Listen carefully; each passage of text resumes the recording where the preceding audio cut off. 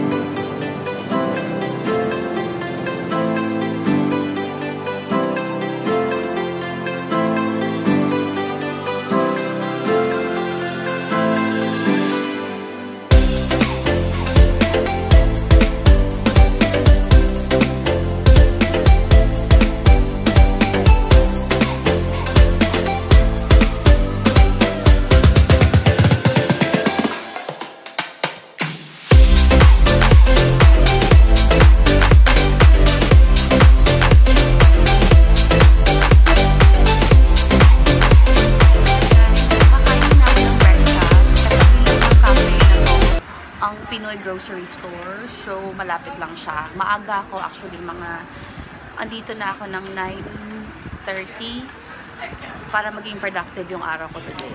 Char. Okay, so kain muna ako ng breakfast and mag-grocery na ako today.